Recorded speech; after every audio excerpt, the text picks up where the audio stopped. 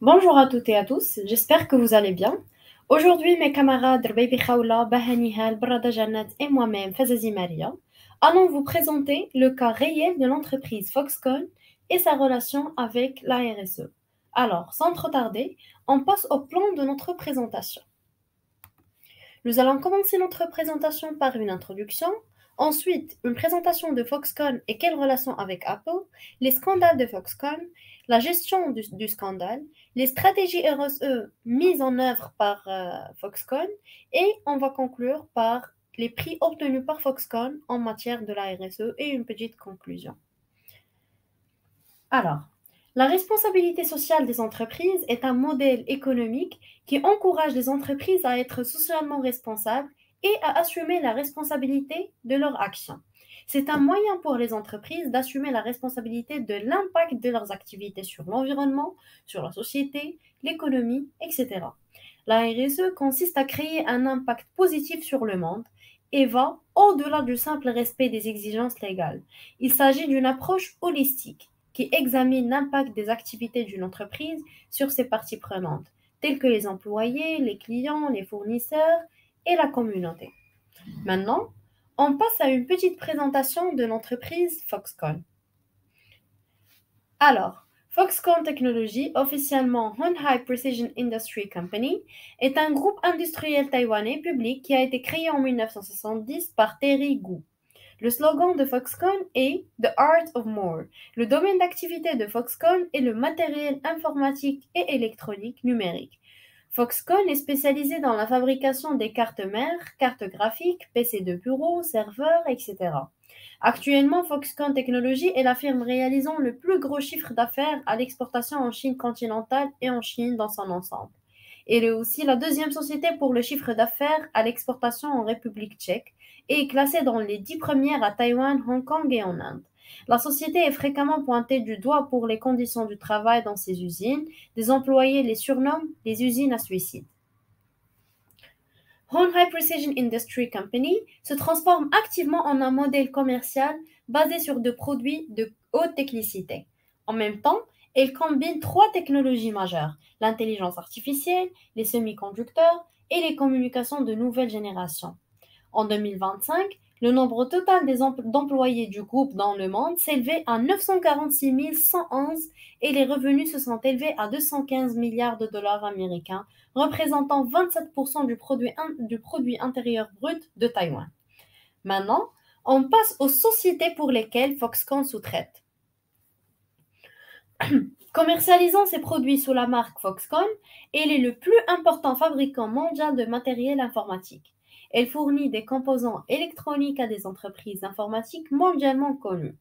Foxconn Technology produit des composants électroniques pour le compte des entreprises suivantes et sous-traite également le montage de produits finis pour certaines de ces sociétés, telles que Apple, Sony, Motorola, Dell, Microsoft, Amazon, Samsung, BlackBerry, LG, Asus, Lenovo, Huawei, Nokia, etc. Ensuite, on passe au site de production de Foxconn. La majorité des ateliers de production se situent en Chine continentale, principalement à Shenzhen, mais aussi à Chengdu, Longhua, Wuhan et Zhengzhou. Le groupe est aussi implanté à Taïwan, son pays d'origine où se trouve son siège et quelques ateliers de production. Il possède d'autres ateliers de production, notamment en Inde, dans la ville de Chennai, au Brésil, principalement dans les villes d'Ayatuba et de Manos, dans l'Union européenne, en République tchèque, en Slovaquie et en Pologne, au Mexique, à San Geronimo, la firme est aussi implantée à Hong Kong, dont le port sert au transit de composants électroniques fabriqués dans les usines de Shenzhen, et en Malaisie depuis 2011. Alors, maintenant, on passe à la relation entre Foxconn et Apple. Quelle relation, ou bien quelle est la relation entre Foxconn et Apple? Les deux entreprises entretiennent une relation de longue date qui a vu Foxconn devenir le principal fournisseur des produits Apple. Le succès d'Apple a été largement attribué à son partenariat avec Foxconn et les deux entreprises ont grandi ensemble. Et comme toutes les entreprises, la géante Apple, afin de maintenir ses coûts de fabrication au plus bas possible, Apple fabrique ses produits en Chine par l'intermédiaire de son sous-traitant Foxconn. Ainsi, en 2010, 102 usines participent à la fabrication de produits Apple. La gigantesque, usine, qui compte, qui compte plus de 200 000 ouvriers, est chargée de la fabrication des iPhones. Pour rappel, Foxconn produit 70% des smartphones d'Apple et donc environ 4 iPhones sur 5 dans le monde sont assemblés dans la méga usine de Foxconn à Zhengzhou.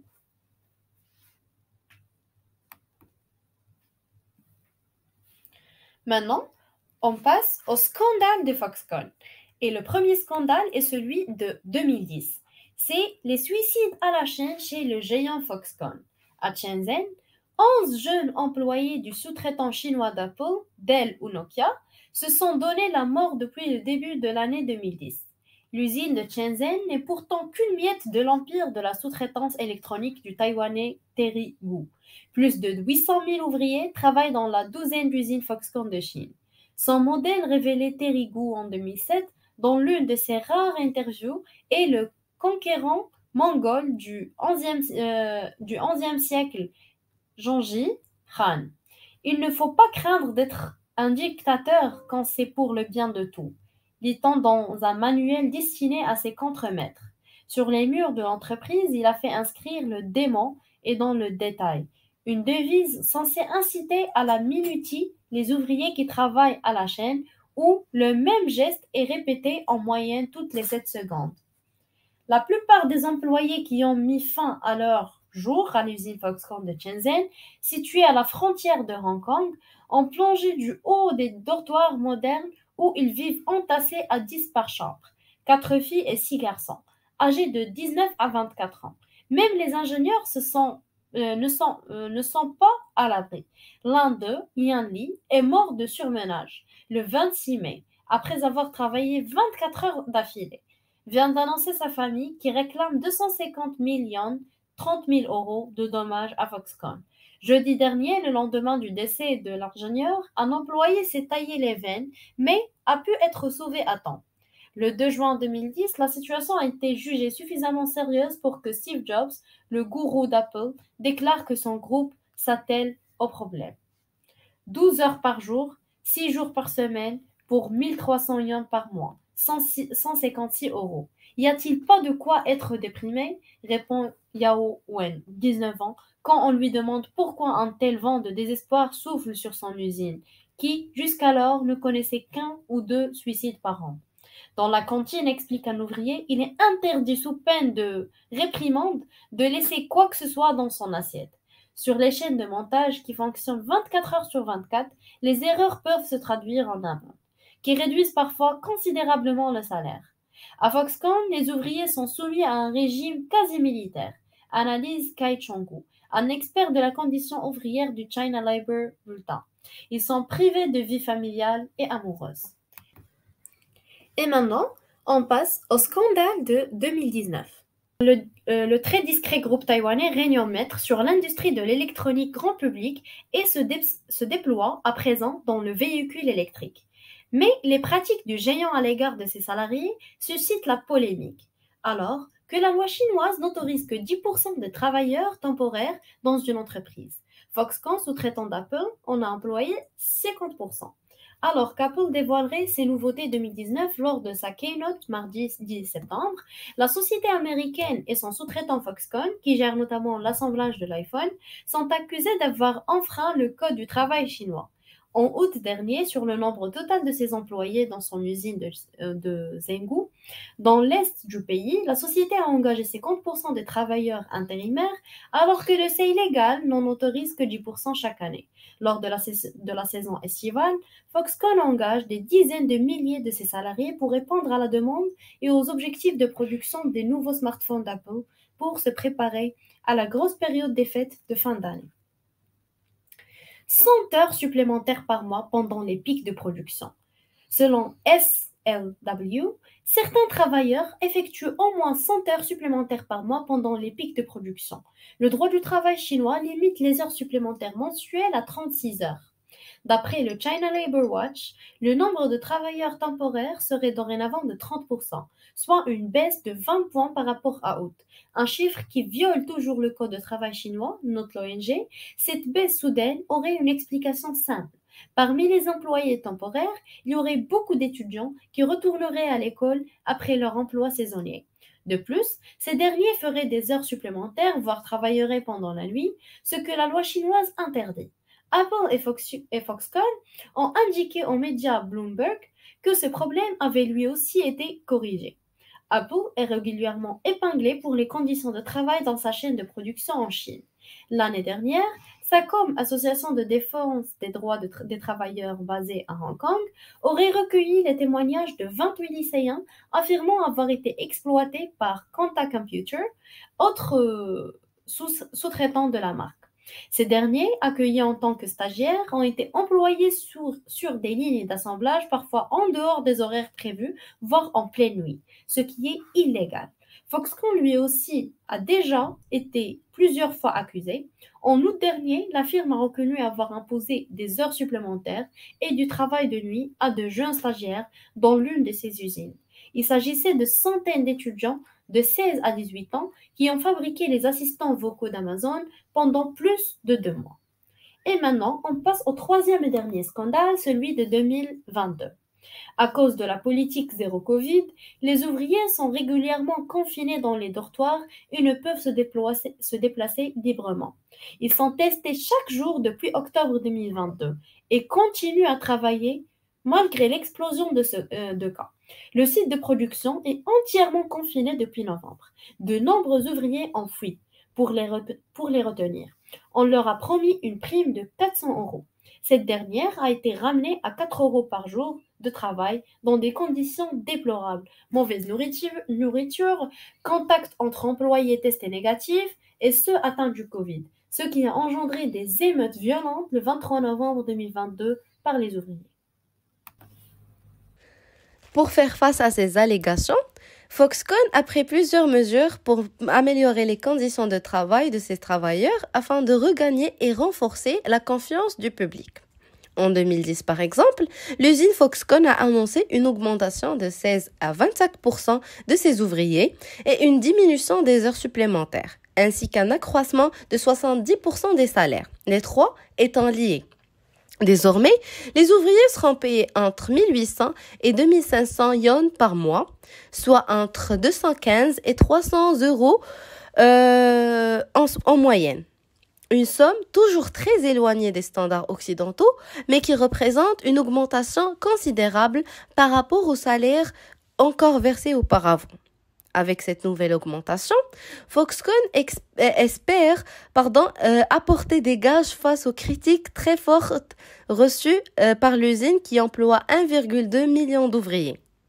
En diminuant le nombre d'heures travaillées, Foxconn veut aussi montrer qu'il prend en compte la, difficulté des conditions de travail des ouvriers chinois.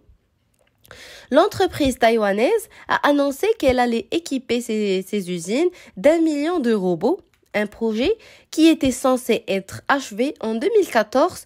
Or, il s'est avéré que les humains ont une petite longueur d'avance sur les robots et du coup, Foxconn n'exploitait qu'une petite partie de ces robots. D'autres, mesures plus polémiques ont également été mises en place. Des employés ont notamment été, invités à signer des chartes dans lesquelles ils promettent de ne pas mettre fin à leur jour ainsi que des documents dans lesquels ils s'engagent à ne pas poursuivre le manufacturier, aussi bien les travailleurs que les familles, en cas notamment de suicide. Euh, dans un communiqué, euh, Foxconn a indiqué cette augmentation de salaire va réduire les heures supplémentaires en tant que nécessité pour certains employés, pour certains employés et elles constitueront désormais un choix personnel pour beaucoup d'employés. Dans un autre communiqué, le fondateur et le président du groupe, Terry Gu, euh, a déclaré nous reconnaissons notre responsabilité en notre qualité de leader dans, euh, le dans, la fabrication de, dans la fabrication de composants électroniques et nous prenons cette responsabilité très au sérieux. Euh, en 2019, l'entreprise annonçait qu'elle allait augmenter les salaires de ses, travailleurs temporaires et réduire également les heures supplémentaires. Elle a mis en place un programme de formation pour améliorer les compétences de ses travailleurs temporaires et leur donner la possibilité de passer à, des emplois à temps plein. En outre, Foxconn a créé un groupe de travail pour enquêter sur les allégations de mauvaises conditions de travail et a travaillé avec des organisations non gouvernementales pour améliorer la transparence et la responsabilité de l'entreprise en matière de travail. Vu que le scandale de 2022 est récent, on n'a pas trouvé grand-chose. Par contre, Foxconn a mis en place un processus de gestion en boucle fermée de la situation sanitaire sur son campus de Shenzhen. Pour, obtenir l'accord des autorités, mettant l'accent sur la protection de la, de la santé et de la sécurité de ses employés, conformément aux directives des préventions dictées par le gouvernement chinois. En appliquant ce processus de suivi, au sein de notre campus de Shenzhen et en mettant en œuvre les mesures sanitaires requises par nos employés qui vivent sur le site, certaines opérations ont pu redémarrer et une partie de la production a repris, commente l'entreprise dans une déclaration reçue par l'usine nouvelle. La société continuera à travailler en étroite collaboration avec les autorités compétentes pour suivre, pour suivre de très près la situation. L'enjeu principal de Foxconn est de minimiser l'impact sur ses grands clients. Apple, en tête qui représente près de, la moitié de son chiffre d'affaires. Le, site de Shenzhen sera notamment au développement et au lancement de la production des nouveaux iPhones de la marque à la pomme. Foxconn avait déjà pris la précaution de transférer la production de Shenzhen vers d'autres sites en Chine comme. Jiangsu. Passons maintenant aux stratégies RSE euh, mises, euh, mises en œuvre par euh, Foxconn. Avant de voir les stratégies et actions prises par Foxconn, je trouve primordial de revenir vers sa vision principale. nous voulons être le leader mondial de la gestion de la production et de la chaîne d'approvisionnement en offrant une expérience exceptionnelle à nos employés, clients et partenaires. Et donc, on peut en tirer euh, que dans le domaine de la RSE, Foxconn euh, vise euh, technologie pour, pour, une vie intelligente, la passion du développement durable, la création d'un meilleur avenir. Au début, nous allons nous intéresser à la stratégie ESG, c'est-à-dire environnement, social et gouvernance de Foxconn. Parlant euh, de l'environnement, Foxconn a pour but euh, de euh, favoriser des solutions vertes à travers la fabrication écologique en vue de produire des solutions environnementales intelligentes et puis une économie circulaire à travers l'optimisation de l'utilisation des ressources pour maximiser l'efficacité dans la poursuite de la poursuite de, la construction d'un écosystème sans déchets. En ce qui concerne le côté social, Foxconn euh, a pour objectif de satisfaire les employés à travers la création de lieux de travail sûrs et équitables qui encouragent et donnent les moyens aux employés de vivre euh, leur passion. Euh, la stratégie gagnant-gagnant de Foxconn qui euh, consiste à éduquer les générations futures à la science et à la technologie et redonner à Foxconn par le biais de programmes de responsabilité sociale des entreprises et d'efforts euh, philanthropiques. Parlons de la, de la gouvernance de Foxconn. Foxconn a pour but principal la durabilité c'est-à-dire adopter une excellence opérationnelle et une transparence pour approfondir les relations avec les partenaires en vue d'une croissance durable. Et donc, euh, gérer l'entreprise avec intégrité et confiance afin de créer un environnement de bonne gestion d'entreprise.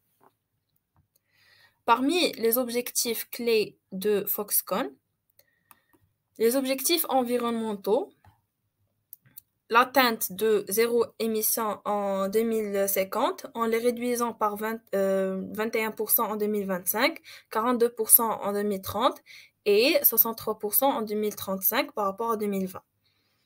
Mettre en place un système de surveillance des, rejets euh, d'eau usée industriels.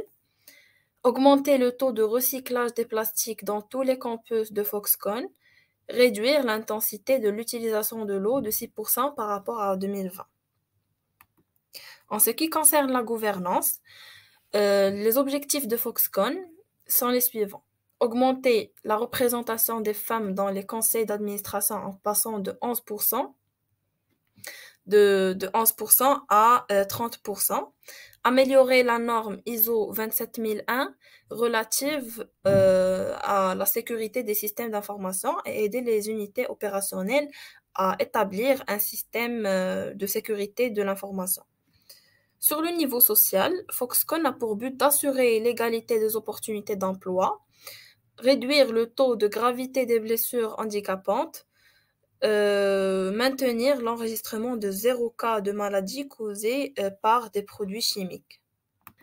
Dans le cadre des objectifs euh, de Foxconn relatifs à la qualité de l'éducation, la réduction des inégalités sociales et de la pauvreté, on mentionne la Fondation d'éducation de Foxconn. Je vous laisse avec une vidéo explicative. Foxconn Education Foundation from Taiwan with their program, Han Hai Scholarship Program.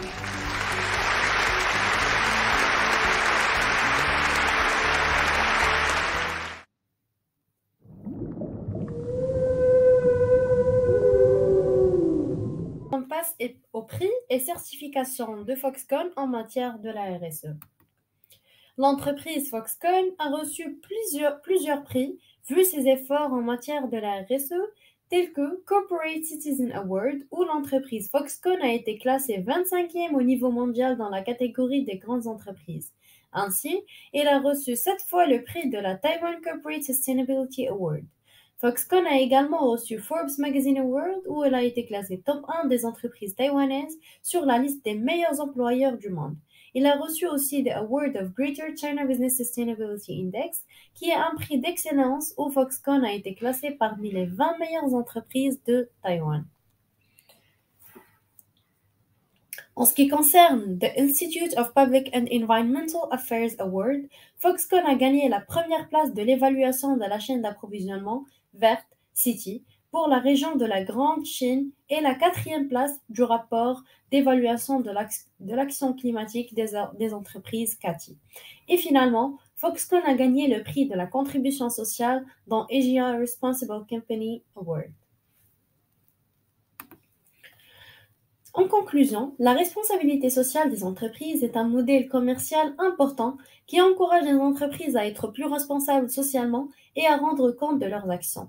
Il s'agit d'une approche globale qui examine l'impact des activités d'une entreprise sur ses parties prenantes et qui peut contribuer à créer un impact positif sur le monde. Il est important pour les entreprises de reconnaître l'importance de la RSE et de s'efforcer de devenir plus responsables socialement. Cela contribuera à créer un environnement commercial plus responsable et un avenir plus durable. Sur ce, notre présentation touche à sa fin et merci de votre attention.